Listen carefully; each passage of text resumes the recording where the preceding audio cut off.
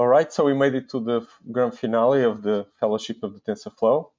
So we've started in Python, we made it to JavaScript and to web applications, and now we are missing the last bit, which is the favorite computational environment of the biostatistician, um, RStudio, or as Daniel calls it, Mordor. So here we go. Daniel, floor is yours.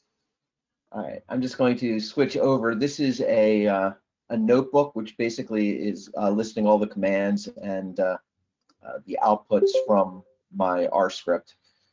Uh, so, you know, as with uh, all R and Python, the first thing we have to do is load some libraries.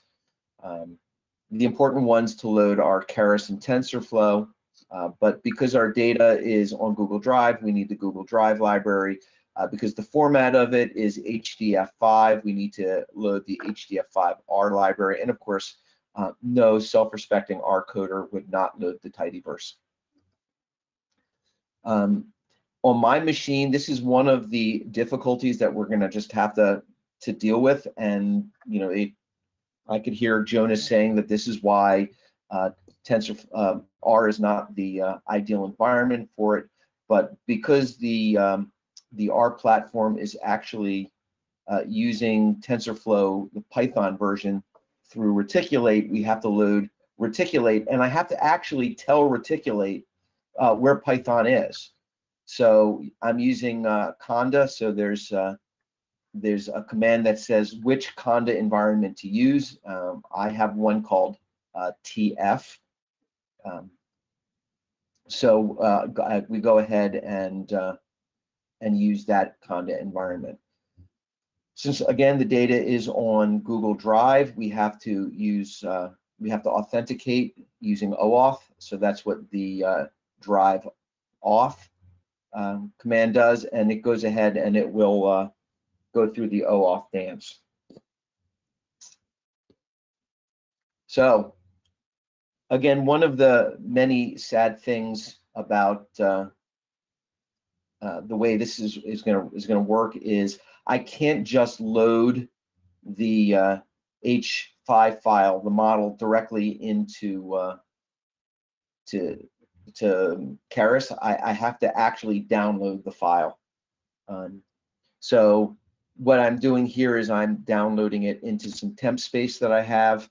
Um, you have to know the the uh, file ID. So this line here is listing the uh, the the uh, JS folder, which ha has the file, and this is the actual file, uh, the ID for the file.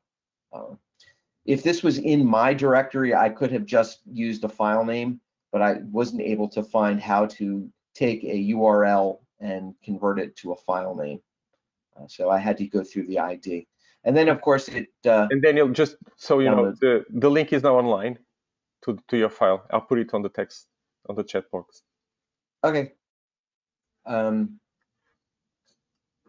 so it's a very simple, once once I have the, the file, this temp model is the file, um, I can go ahead and just use the Keras module to load the the the model in uh, with one line command, and you can see I can take a look at the weights. So uh, I'm taking the weights of the first layer, and uh, you know we can compare this with uh, the weights from the Python model, but knowing the outcomes are exactly the same, I'm willing to bet that the weights are exactly the same too. But we certainly could test that. Hey Jay, do, do you mind having a quick look? I'm sure it's yes, but it doesn't. It wouldn't Sure, yeah. Hurt as if you go back to, to the original Python generated model and look for one of these weights. I think I actually remember the minus 0.28.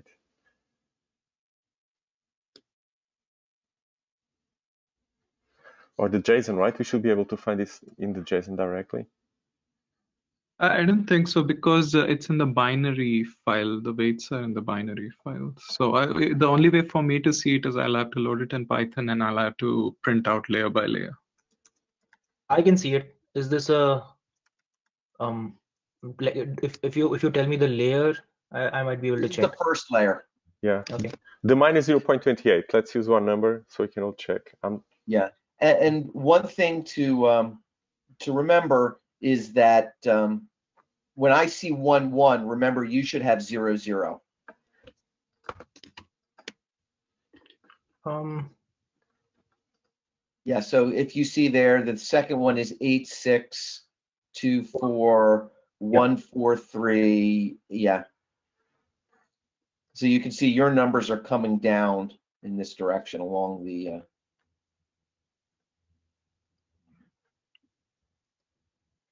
Do you see them, Prafu? Or not yet? I don't see Daniel's now. I, I only see oh, mine. I'm sorry. Let me let me show my screen. Is there a way to compare? Oh, this is Unfortunately, we can't share. Oh, two Prafu, this is yours. The answer is yes. Sorry, I thought it was Daniel's screen. So if you want to compare, these were here, here. Yeah, Yeah. they look the same. Uh, I'll. Uh, uh, I, I I mean, the, the the notebook is public anyways. Uh, if you open this link, you should be able to see. Uh, no, it'll be the um. Actually, republish and reshare. Yeah, if you if you open up that link, you should see the notebook, and maybe then we can compare side by side. Oh yeah, it's the first one. Float 32 array 150. Yep. And where is the chat? And it's right down. Oh, further down. Uh, just above the black box, uh, a little more. Yeah, There. they're the weights. It says the final, but this is the first activation of of first layer. So, So you can see the negative 285. Here is the 086, the 143, 83. So the order is of course a little different, but uh, but the weights are the same. So it makes different sense. It's different, right? Because you use the shape parameter to fold a long array into matrices. So this does Yeah. make sense, right? Okay. So then what we're going to do is we're going to download. I'm only going to look at the test data. So uh, again, we went and uh, we loaded the test data. Um, if it already exists, then I don't download it. But uh, because I clean up, I always have to download it. Um, and then I have to load the data. Now, this is one of the things that, you know, that you just got to deal with is that when I load the data, the sh- the data is right, but the shape is incorrect. So because uh, R doesn't um, keep extra, you know, um, dimensions that are unnecessary. So what I basically had to do is, um, you can see this is getting the uh, the training the x's of the data, and then what I'm doing is I'm rearranging the the the indices so that the third index is the first index. This is very similar to like a transpose, except it's in higher dimensional. So all of the data structures should remain okay. It's just I'm changing it appropriately so that the 1000 dimension becomes the um, becomes the first as opposed to the last uh, index. Keep in mind, our indexes start at one, not zero. So uh, every time you see a one, you, you just you have to get used to that thing. Now, if I were just to do an image, um, the way images work is that the top right corner, I'm sorry, the upper left corner is zero zero. Uh, this is just the opposite of the way uh, a graph would work. So what I have to do is flip it. That's what uh, this rev is doing. It's reversing uh, the the second parameter, and um, then I have to transpose it because uh, you know the x's and the y's are not quite right. So uh, and then you can see this is a seven. Then I have So- a really quick question. In the MNIST data set, just remind me, is it everything is in grayscale and this is just fake color, right? Is, is that correct? This is yes, this is fake color. If you actually looked at it, this this would be like a point something. Okay. Actually, I didn't realize it. It was not binary MNIST, that it's grayscale. Interesting. Yeah. So this is yeah, it's it's a false color on the gray on the grayscale. Uh, then without training at all, I took my X data and ran it through the model. You know, um, and you can see these are the predictions. Uh, unfortunately, you know, I couldn't get all 10 in the, you know, it, it should be a 10 by very large number array, and you can see that uh, it doesn't quite make it. So the first one is, is this is the first one. You can see it's a seven, um, and you can see here it falls in the eighth column. Remember that this is zero, so this is going to be a seven. Okay. So it worked, right? Uh, and you can. So it, it What's that? completely worked then, right? It's a seven. So this one worked, and you can see the second one is a two. The third one is a one. It's a zero. So what I did, because I know what the results are, um, I went ahead and, and, and ran the predict on it. So So then, how, hard? I'm trying to put myself in the role of the typical statistician. They would say, well, we see the scribble pad that Prafu used. Let's get that PNG, maybe resize it to match the expected dimensions.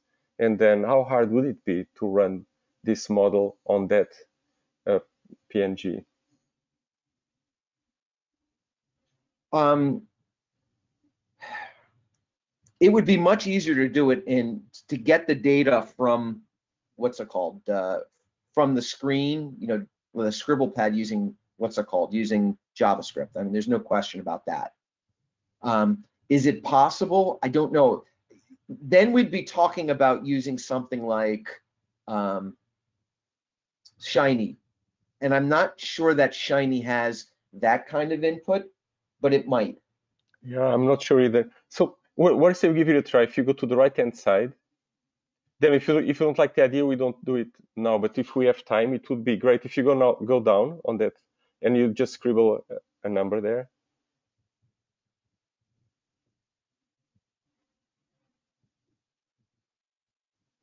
You got a seven because your your number is pushed to the left. Isn't that funny? So if you clear the canvas and just produce something with low novelty index, yeah, now it worked. Isn't that funny? Oh, we really need novelty. So now if you export this, you should get it as a PNG, I think. Right click. uh, right click this hmm I think so. Yeah, save image as. Now let's be really silly. Can call it nine. My nine. Okay. And this is a PNG. And then if you open in the system viewer, you should be able to Um, wait, the, the problem is, is that th- this data might not be in the right format because I need to have, you know, pixel intensity values. I think we're going to get it. So if, if you now open this in the system viewer, the My9 PNG. So you have to click on the little arrow. Oh, I'll go there. Yeah. Hold on a second, I gotta get the right. For the rest of the members of the fellowship, is, is this a good exercise or am I distracting? Um, so downloads, My9. So if you open system viewer, right click. hold on, it's on the wrong screen. And now resize. Resize. Yeah. What What is the one? It's 128. Do I remember well? Yeah, 28 by 28. Okay. So the, the canvas isn't. But yeah, you'd have to. What do you want? So you Uh, resize. pixels. Yeah, pixels. Um, yeah, uh, convert like uh, click on the inches drop down, make it pixels. Yeah, and then just 28 by 28? Yeah. Do you want me to scale proportionally? Yes. Uh, yeah, it is. I think. because the height changed as well? Nice. Yeah. Okay. So we have a good nine. So you just have to save it. And let's see how nimble is R in reading the density values, so the grayscale from a PNG. All right, hold on a second. Let me open up RStudio. Now we are talking. See, biostatisticians are finally paying attention. Okay, so.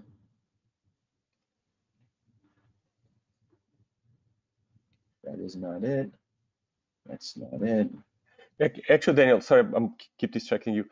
Do you mind to share that file with us? You can put it in Git. I'll move it around so the rest of us can try it as well. Oh, hold on a second. Let's let's look at the real file. Let's not look at that. This is the real file, right? So you want this? What real file? No, no, just the image, because we can all try it now. Read it. But Oh, Dan- oh, oh, the image. Daniel, wouldn't you need some kind of an image library in R to load this? Because I'm I have an image library. Yeah. okay. It's some sort of Uh, read. I don't use it a lot. That's the problem. I'm sorry. You want the? Yeah, just tag Yes. it to Gitter and I'll I'll move it around, make it available to everybody. You got my nine. I got it. Thank you. Perfect. All right. So. Uh, image load. Or maybe you can convert it to array. Image to array.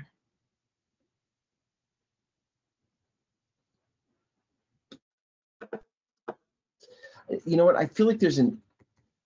You know, uh, let's not waste time. I know if this was Everyone MATLAB, YouTube it's too much IM. Google. Yeah, you know, imread that would be like instantaneous. If there's an imread for R. Or I can do read PNG.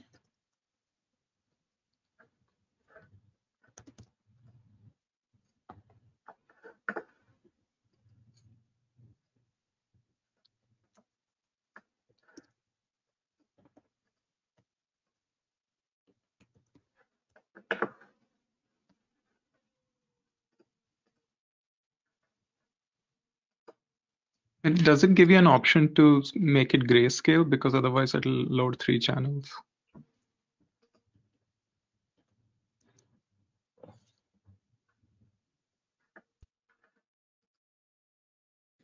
What did I call it? My nine. Yes, my9.png.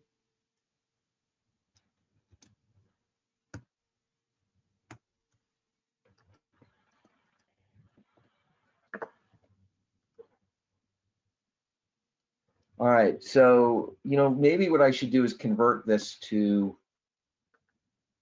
What's it called? Uh,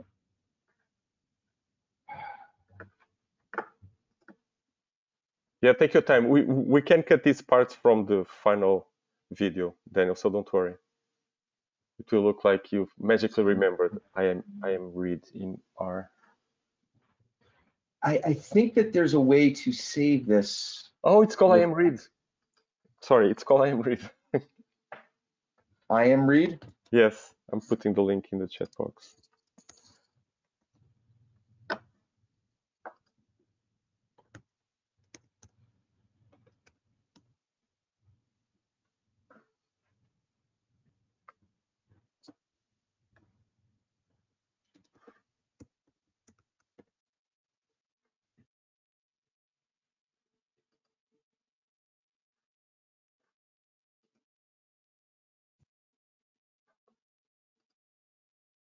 Adjust color.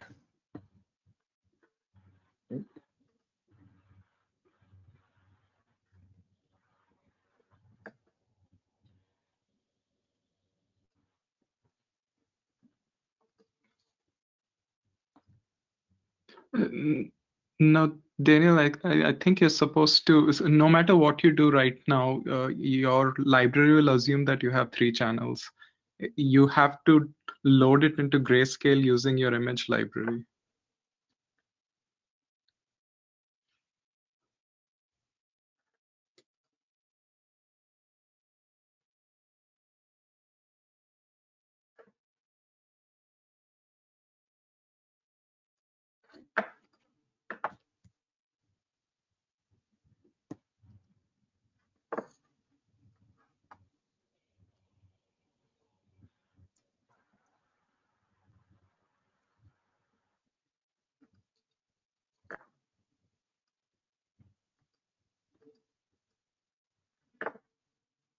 You know, there might be a way to convert it in R.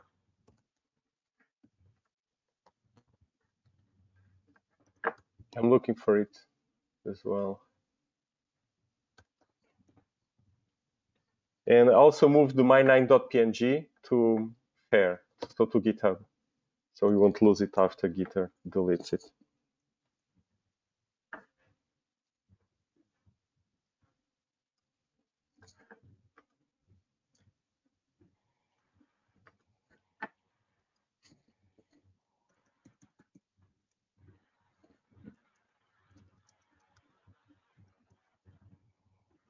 Don't know if I have this package.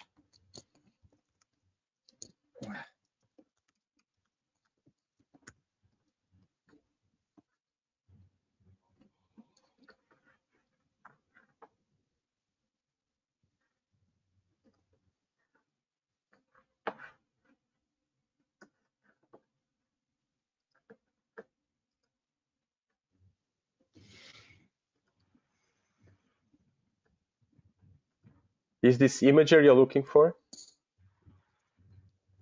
D- I don't Daniel, I don't have to load a new package, but D- Daniel, can you click the link that I just sent you? And just see the first answer.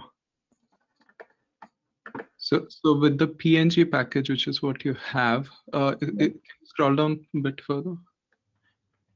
So it says that if you load the image and it has four channels and it shows you how to convert from four to one, the, the grayscale. read PNG. All right, so let's take a look at dim. So it's four. 2020.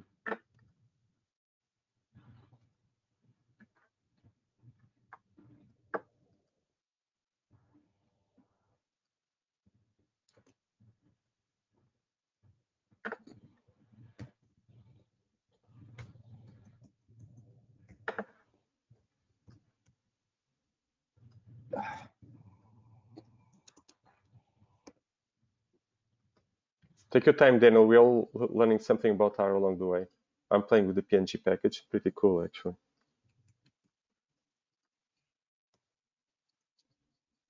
Okay.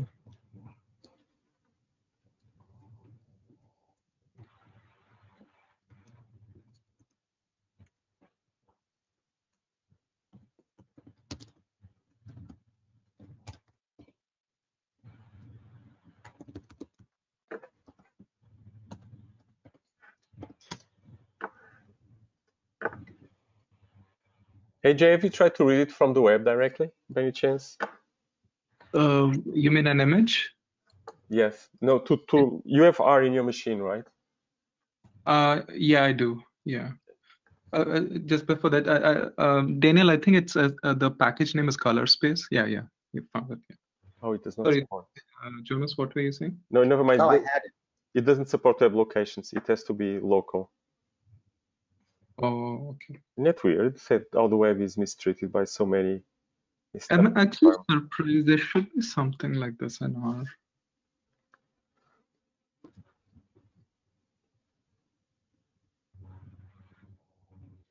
All right. So what is Y now?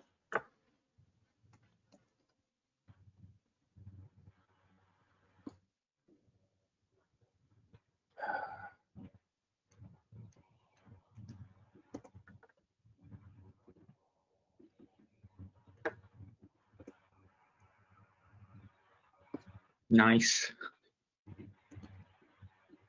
You got it?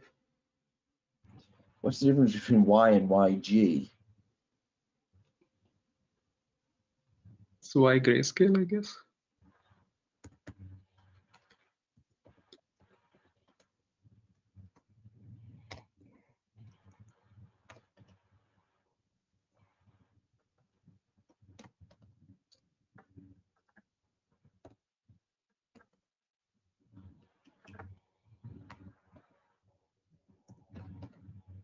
All right, I don't know what the difference between these two are, but they look the same. They're 28 by 28.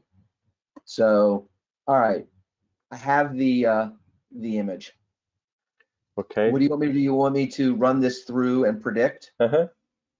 So what we need to do is um, It's right. That's going to be the first. I need to reshape it. Um, so what I want to do is, actually, let me do this. I really want to see. Oh, it's not letting me do it.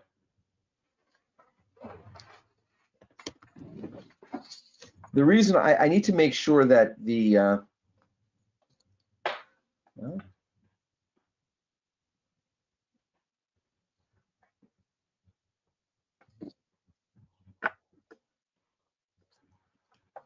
Right, I don't know why it's doing that.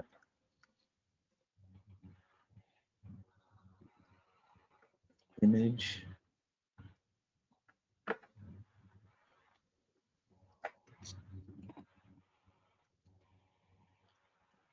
This is a 28 by 28 array, right?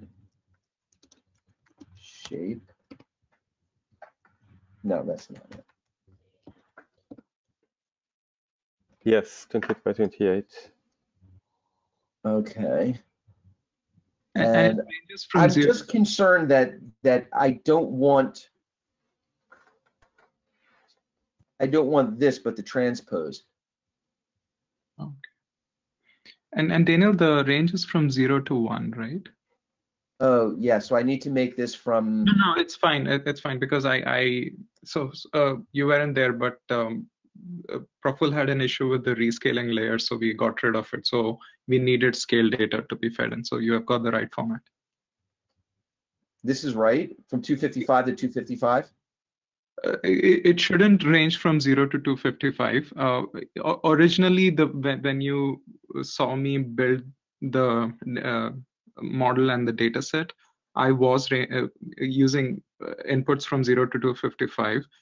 But at that point, the model was doing the scaling for us. It was scaling from zero to one. But uh, we eventually got rid of that layer because it isn't present in TensorFlow JS. So so Oh. we need the range to be from zero to one. So you've got the just divide by 255. I- i- If you you're currently ranging from zero to 255, then yes. But if it's already from zero to one, then leave it as is. No, no, you can see what it is. You can see these are octal numbers. So That's strange. They they print no, this is not right. This is much bigger than 255. Yeah.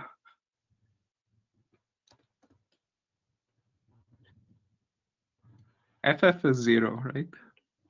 No, FF is 255. Zero, Oh. zero. So this is 255, and then there's another. These are binary stuff. So I'm sorry, they're hex digits. So this is a very large number.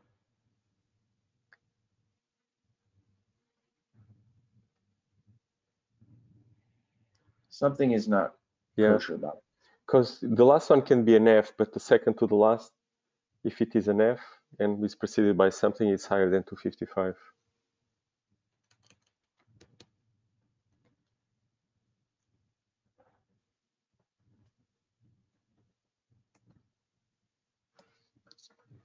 If you run min max, you're going to get a decimal output, right? Or if you have some function like that.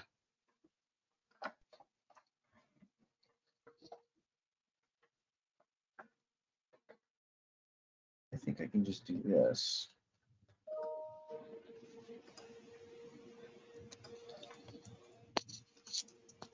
Hmm.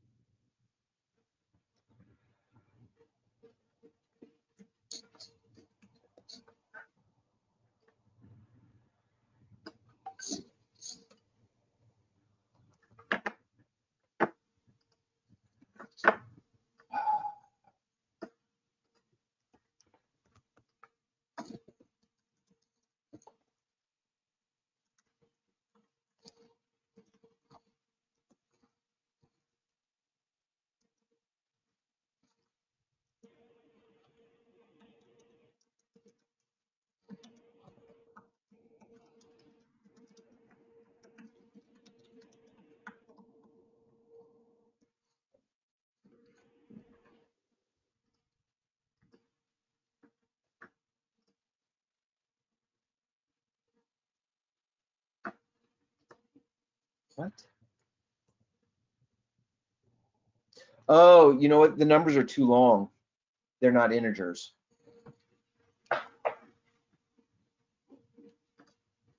Is that right?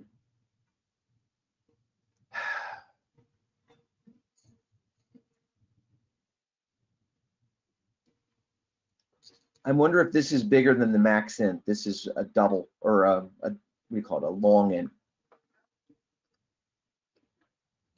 Let's see, this is four, one, two, three, four, five, six, seven, eight. No, that's 32 inch. Yeah.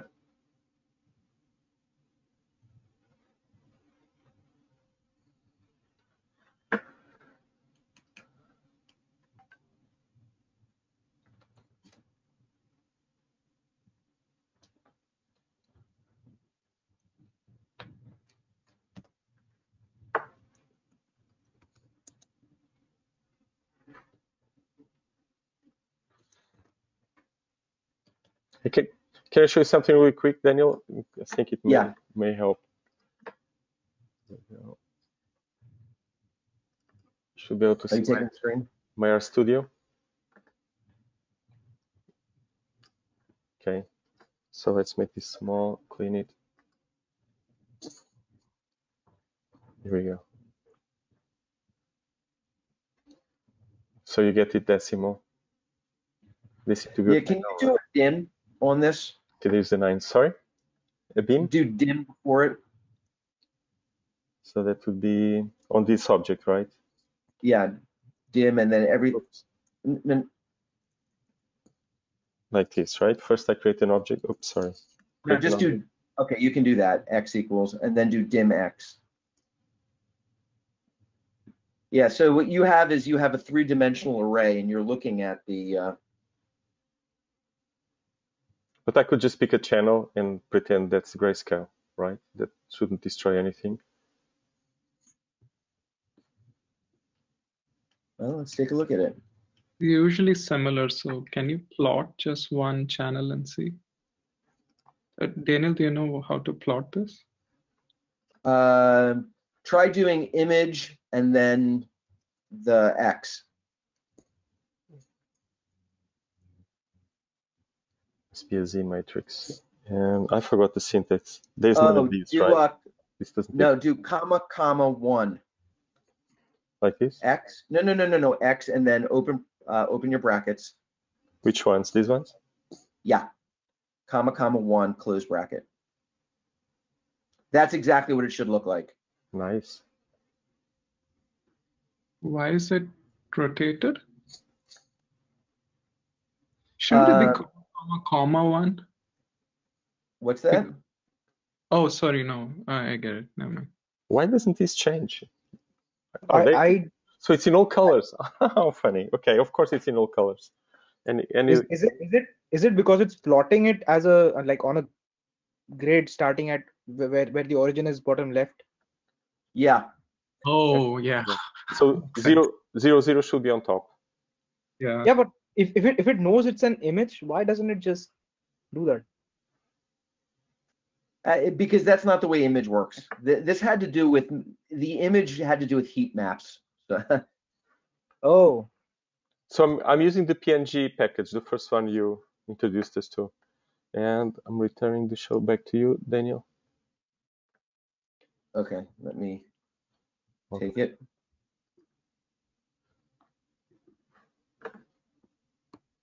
So let's try this again. And my, my mouse is on the wrong, all right. eh, So let's say X equals read P, PNG.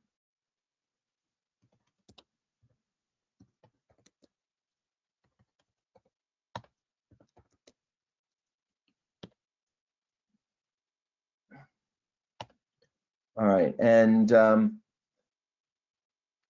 what, Jonas, what did you do? You, you only look. Yeah, any of the three channels, because it's grayscale, they have the same value. So if you okay, so let's do um, X equals X, comma, comma, one. All right, so now if I look at the dimension, it's 28 by 28, and then what I want to do is I want to force it to be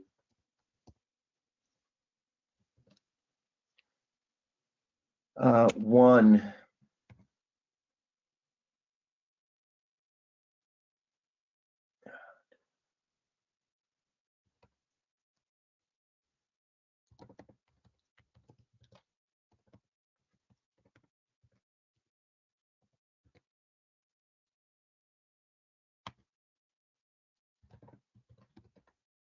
Okay, now I need to switch the order of it. Daniel, can't you just re-index them somehow? Why do you have to go? Oh, I first have to let it know that it has three dimensions. Right, that's fine. But uh, since since it was rotated, I'm guessing the what you're trying to do is range it from one to two as opposed to zero to one. Right? Um, one second. Yeah, yeah. You know, actually, So what I want is, I want it so it's like this, right? So this is the first element, and now I have a 28 by 28 array. And hopefully this will look good. so the x's are y's and the y's are x's, right? Oh, Da- uh, Daniel, I torture you one more time. Uh, before you feed it into the model, you'll have to re- you have to format it to one comma 28 comma 28 comma one because I've allowed for all batch sizes. In You're your right. case, yeah, yeah, just remember.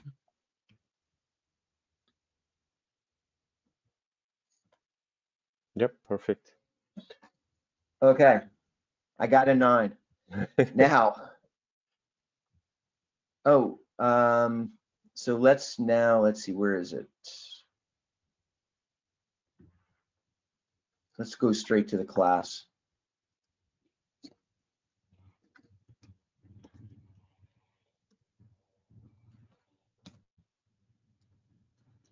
The the artifacts on the the outside of the nine. Yay, it's a nine.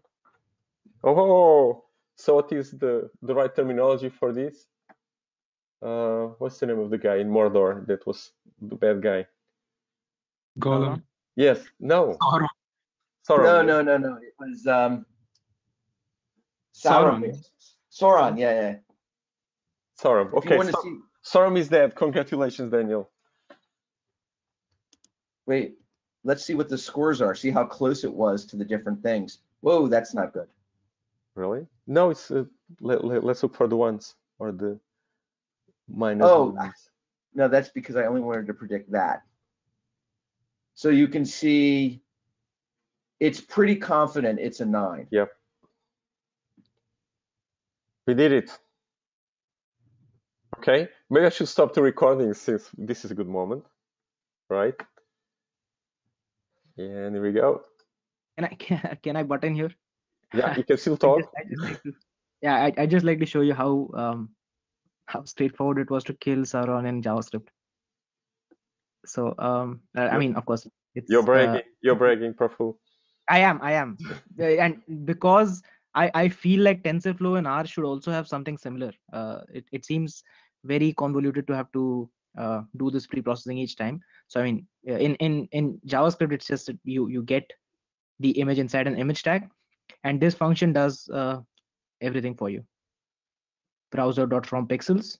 Yeah, there probably there probably is a function, but you know, there's Yeah. hundreds of thousands of functions in R. so No, I'm I'm I'm I'm talking specifically uh, about TensorFlow JS having some functionality to um like read images. Uh, no, no, not TensorFlow JS, TensorFlow having some functionality to uh, just read images, uh, uh, give it the number of channels you want to you want it to read. Um, and yeah, that's I mean the, the reshaping is uh, model specific, but um this this feels like it should exist in uh, in Python and, and in R. not not browser dot from pixels but you just pass it an image and it uh, pre-processes it for you if you don't mind, let, let, let's look at the prediction. Just curious if you just open it. So we see nine. Very good. Okay, so the same values. And I was looking at the, these are the exact same numbers that Daniel showed us. So it's all good. So I'm, I'm convinced by your argument by the fourth line. So if you go up, there it is. Image dot source equals to, and it's a URL right there. I'm convinced we are in a better Jonas- place. Yep. Jonas, I, I I've added a link, so through R you could have done the same thing. You, you just need to plug in the URL. Oh, you're trying to resuscitate Sauron? I, you know, this, he, all of us can kill Sauron, is what I'm saying. it's a good point. Yeah. Okay, another version of this question. For, Oh, for yeah. Daniel, how easy would it be to package this in a single function? Trivial, right? Such that someone, Yeah. in, yeah, that, that would make forum dead for sure. But you know, the difficulty is is that there's a lot of stuff we did, right? We we Mhm. made this a we forced this into a 28 by 28 bit array, right? Mhm. So if you have a 28 by 28 bit um, you know, file, it it certainly makes life easier. Okay, so I, I guess my question then is very different. So I'm not saying can we write a function of favorite language to behave exactly the way it does in others.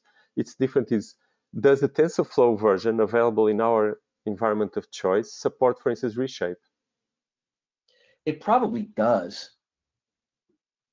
Can we have a has quick look in Python to see if TensorFlow has? Sorry. I'm curious it if has- yeah, if the TF.js, how does it look like in the original TensorFlow for Python? Is there a from pixels method in TF in Python? No, this this is specific to the browser, but there there must be um, some way to pre-process the image directly using TensorFlow.js without having to resort to uh, all these other. Uh, Yeah, I- there's a, there's something called image data set from directory. oh wow! But Yeah, that's a yeah. separate package, right? Or that's part No, of TensorFlow. TensorFlow. It's in TF Keras utils. Can you show us?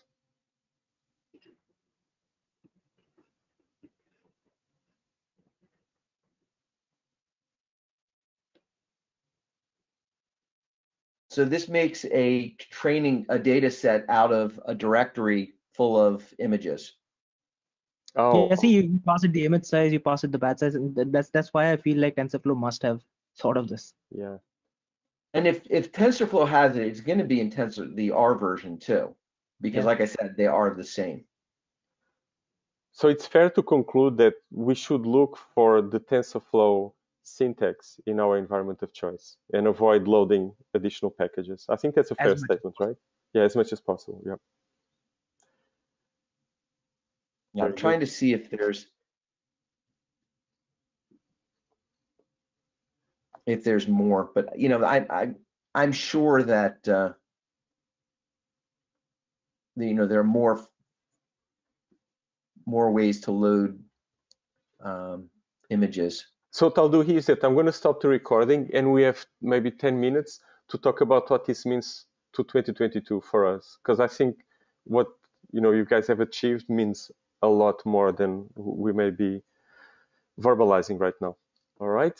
So let's close the Fellowship of the Ring. Any last words? One. I, I I might be wrong. I think the the TensorFlow doc that Daniel is uh, looking at, I think it also uses the PIL library, which is a separate image processing library. Oh, so that's a thing. It thinks that the Python camp a little bit. Yeah, maybe that's because uh, PIL is that comprehensive. Yeah, Professor, I actually suspect this is true that when people move things to JavaScript, they also abstract them further because the language lends itself to functional patterns and other things that, you know, it's just. no, I, I I think Yeah. I, I think it's more that JavaScript is more um I mean it's it's easier to do image processing in JavaScript, funnily enough, because of the canvas. There's just so many things you can do uh, that are I mean it's it's harder to do that in Python because you have to do it computationally, whereas uh, the the API itself has uh, image processing built in uh, in the JavaScript canvas. Okay, since you mentioned that, I think you're absolutely right. I want to show you guys something because you have the same question. So I was surprised by the exact same thing, Praful. Uh, let's see, screen share. Let me still the show. You see my USM thing? Yep. So this, what this does here used to be many lines of code. You know, this ability to change the. So here we have a full image, is a quarter million nucleotides. I'm creating the uh, universal sequence map projection, so the CGR. And you can read it from wherever you want. You can read it from a string, or you can read it directly from, I think it's this one. There it is, directly from NCBI. And this is being replotted, recreated, and it's all in the canvas element. The big advantage for me of the canvas element is the low memory footprint, because you're just updating the values in a matrix. You're not creating an array that then you convert into a PNG file. It's all written natively in the PNG. I don't think many other languages do that. Is that a fair statement? I shouldn't say languages. These are the the native elements. Like the, the DOM is used very elegantly, I'd say, by the, the libraries of our choice. So it, I think it's much more elegant the way I coded in JavaScript than I did in the past in MATLAB, because I don't have to make the conversion. Yeah, um, when when the data is written to Canvas, I don't think it's written as PNG, Jonas. I, mean, you can get it as PNG. You could get it as JPEG uh, as well if you wanted to. Now I can show you. The, the, the, data in the canvas is, uh, I mean, it's it's an image bitmap mm -hmm. more or less. Yeah, but it's just much more organic. Uh, let's see, USM to there it is. So if you go to plot, that's it. So I create a canvas element, give it size. This is just for visuals. This thing is ignored. Then get context to D. And now I start creating what what is the style? I say style is white. Just write it and I'll start writing on it. No, it's black. And then when I go through something using for each, so functional patterns, now making the most. And that's it. I fill um, little rectangle with dimension one yep. in the corresponding positions. I mean, there's nothing else. I'm not creating a matrix. That's because in MATLAB I would creating a matrix and then I would transform the matrix into an image. The image format or the canvas format in, in the browser already short circuits that connection says let's just treat the canvas as a matrix here yeah. you know yep that's that's it that's exactly my point yeah all right i'm going to stop the recording so we can talk about 2022 in the last few minutes uh, just just before we move there again, uh, Daniel, uh, I I mean I I had two questions. One of them is uh, JS from the start, but I'll start with mine. Uh, did you try using ONNX, and is ONNX also uh, dependent on Reticulate? I mean, does does it also just use the Python Pythonic implementation, or is there? A... I did not use did not use ONNX, but uh, there is an ONNX package I can answer the second part. It, it is not based on reticulate. It's it's its own. Uh, th there is a common data format that ONNX uses. It's it's similar to TensorFlow JS. It's it's completely rewritten library. I see. And that, so so the one ring to rule them all is actually ONNX because if if you can somehow port something to ONNX, it has a runtime for Python, JavaScript, and R. So you would be running the same format across all of the platforms.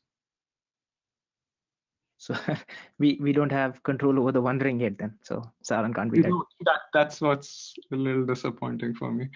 Uh, because we all use different formats. If you see, so, so uh, Daniel preferred HDF5, you preferred JSON, and I mean, I, I, would have technically preferred a saved model, but I would have been happy with HDF5 as well. But JSON wouldn't have worked for me yeah to so, that point uh, i'll i'll, I'll uh, I, I have some news uh, uh, on that front but i'll, I'll uh, keep it till we are done with this point.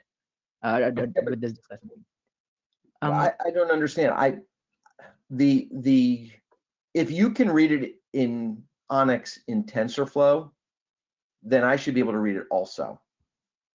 Oh yeah i'm, I'm saying that ONNX has its own runtime. It's not based on tensorflow but I'm saying that ONNX has a runtime in Python, JavaScript, and R. So uh, I, I, uh, between R and Python, there isn't that big an issue because uh, everything that works in Python will work in R, including saved model format and HDF5. All of those formats work.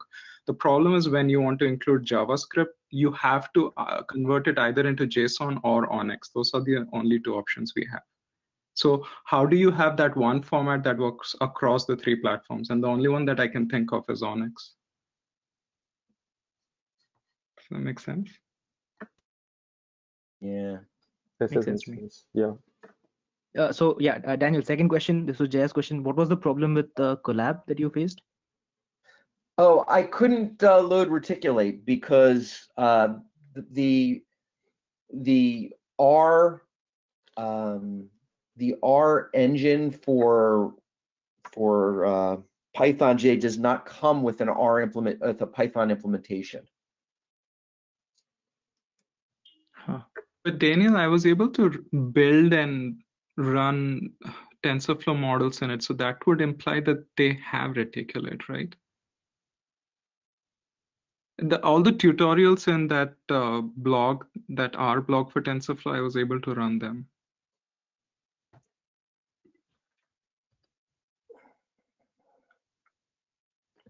You you have a, a command for listing the libraries, right? Can can you do that? Uh, hold on a second. Let me um, let me open up a new. Um, let's see.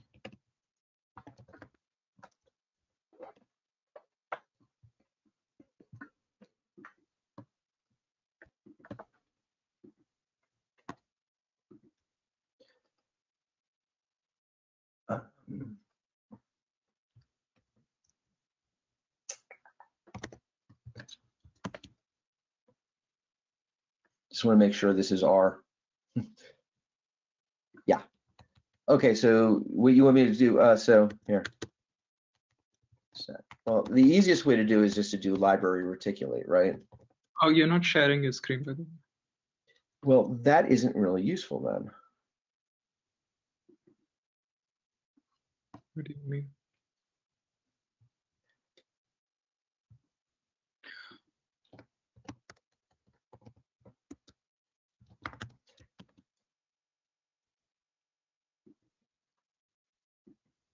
Reticulate. So I think I've done this before. I don't know where my uh, so I can do install uh, packages. Is reticulate even necessary for TensorFlow is what I'm asking because I since I was able to even train models on a GPU using R, that would imply that it already has reticulate somewhere. Y- You'll have to install it, but but uh, the configuration will, I think, install reticulate.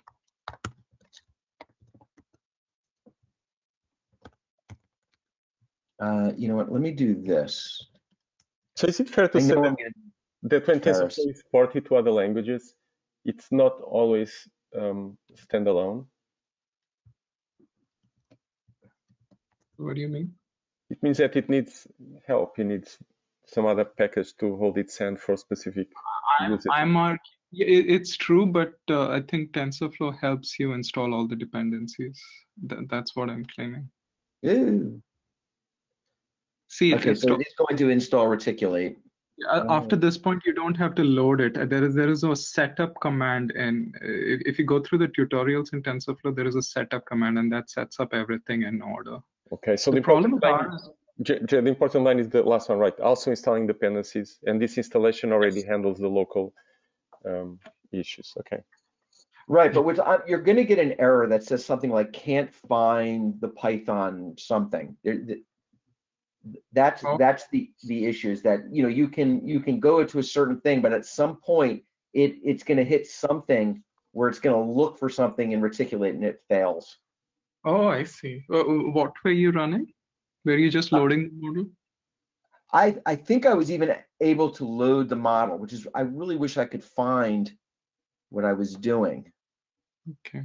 Um, is this it? This is actually it. See. And this is the error. So I installed TensorFlow, I called TF constant, and then it I got this could not find an environment for it. Oh, that's not good. Especially if we are asking for Colab to be our new RStudio. I, I remember running these exact same commands and I didn't have a problem. This this is from the tutorials. I can tell because the hello is misspelled and they misspelled it there. Oh, that's funny. Okay, guys, we reached the end of the hour, so I think we should definitely dig deeper on this. I just want to make one point, and I'm going to stop the recording. Here we go.